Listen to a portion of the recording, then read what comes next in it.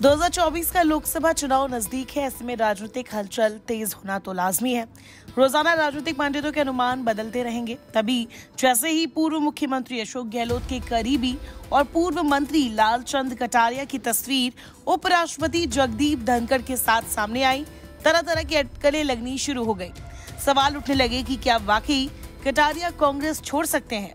इससे पहले भी लालचंद कटारिया की कांग्रेस छोड़ने की जमकर चर्चाएँ चली थी। उन्होंने हाल ही में विधानसभा चुनाव लड़ने से भी इनकार कर दिया था। इस बीच अब लोकसभा चुनाव काफ़ी नज़दीक है। ऐसे में उपराष्ट्रपति जगदीप धनखड़ के साथ उनकी मुलाकात कोई बड़ा सियासी संदेश देने की कोशिश कर रही है।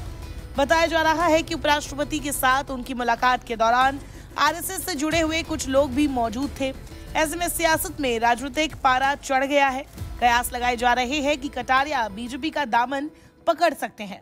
उपराष्ट्रपति से कटारिया की मुलाकात को इसी संकेत से जोड़कर देखा जा रहा है। लालचंद कटारिया का निर्वाचन क्षेत्र झोटवाड़ा विधानसभा था। हालाँकि इस बार उनके क्षेत्र में काफ़ी विरोध रहा।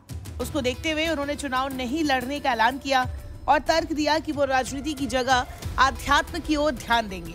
लेकिन बीते दिन उपराष्ट्रपति जगदीप धनखड़ के साथ उनकी मुलाकात के बाद कुछ और ही संकेत देखने को मिल रहे हैं।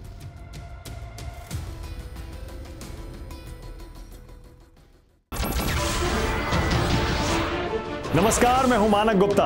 अगर आपको हमारा ये वीडियो पसंद आया हो तो इसे लाइक और शेयर ज़रूर करें। और हाँ, हमें सब्सक्राइब और फॉलो करना ना भूलें, ताकि आप देश और दुनिया की कोई खबर मिस ना करें।